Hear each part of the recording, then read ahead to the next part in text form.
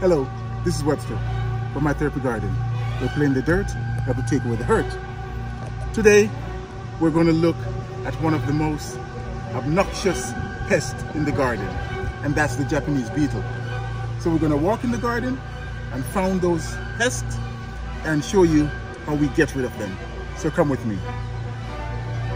So as we come to the rose, we can find the Japanese beetles just lying in the roses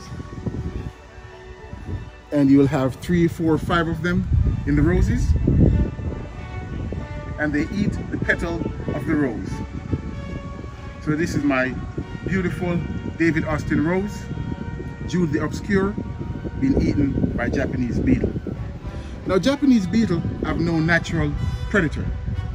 So when we plant the herbs or other companion plant with the roses to attract the good bugs that will eat the bad bugs, the Japanese beetle won't be one of the bad bugs that they eat. However, we can plant companion plant with a rose like begonia. When the Japanese beetle eat the begonia, the begonia have a chemical in it which will paralyze the Japanese beetle and they'll fall straight to the ground. At which time you can either pick them up, squish them, or put them in soapy water, or just leave them there for the birds to eat them. So you can the first thing we'll do is plant begonia. So the Japanese beetle feed on the begonia the chemical paralyze them and they'll fall to the ground. The next thing we'll do is get warm soapy water. With the warm soapy water we can put whatever dish uh, washing liquid you want. I use Dawn. Just make a little sud and then we bring it under our rose or other flower with the Japanese beetle and we'll just gently shake it.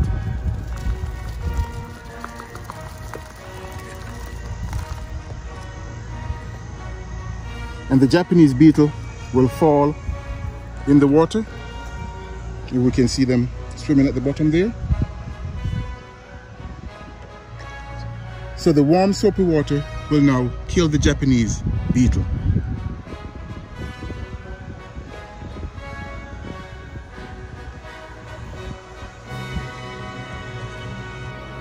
Okay guys, so the third way of getting rid of our Japanese beetle is by spraying.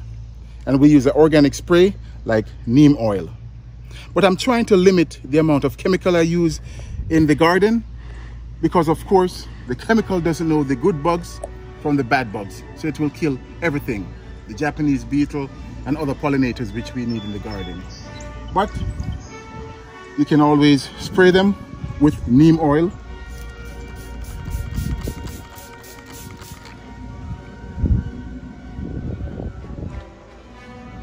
and we'll get rid of the Japanese beetle.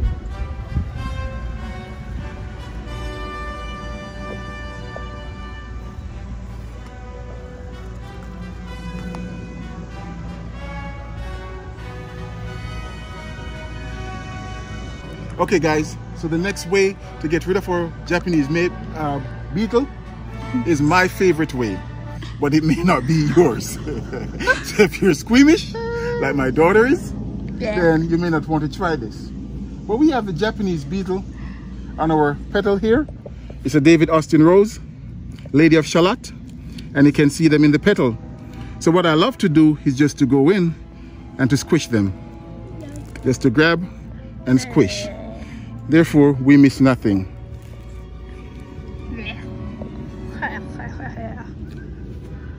So we can see them right there pretty much dead. Okay? Again, if you don't like to squish them, you could always just knock them off in the warm soapy water or just pick them off and put them in the warm soapy water. So walk with me as we find more Japanese beetle in the garden and we'll get rid of them. Okay guys, I just cleaned my hand in the uh, warm soapy water and we'll go get more Japanese beetle. I know you don't like that, uh, my favorite way, but we're getting rid of Japanese beetle any way you can, okay? So let's find more of them. Okay, here's another one on my um, JFK hybrid tea rose. So I just drop it in there.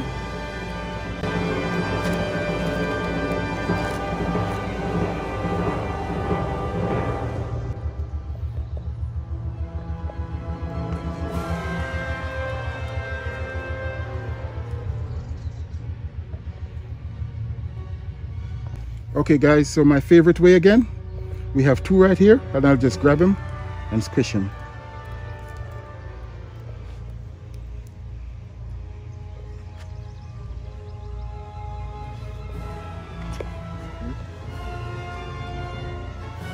And then of course I can always wash my hand in the warm soapy water.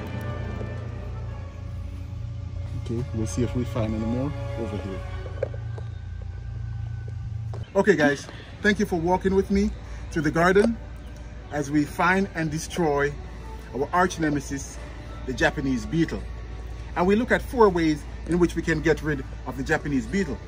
Our number one way is to plant begonia so when they eat the begonia, the chemicals of that plant will paralyze their body and they'll fall to the ground.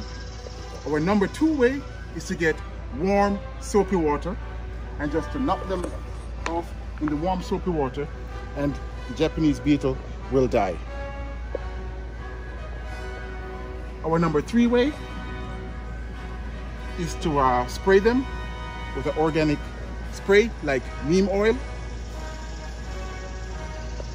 and our fourth way is to just pick them off with our hand and either drop them in the soapy water or my favorite is to crush them.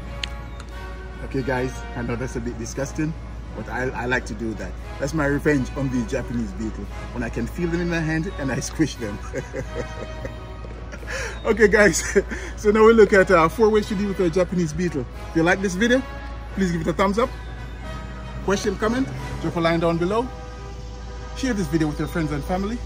If you're new to the channel, please subscribe and hit the notification bell so you can be notified when new videos are released.